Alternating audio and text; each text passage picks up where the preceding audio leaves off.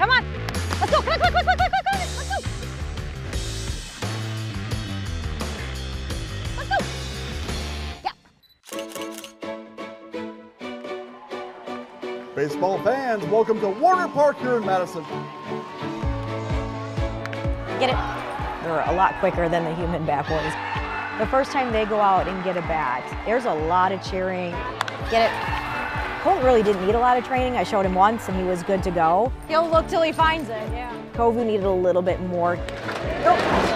it's never perfect. They're dogs and things happen and bats get thrown and different things.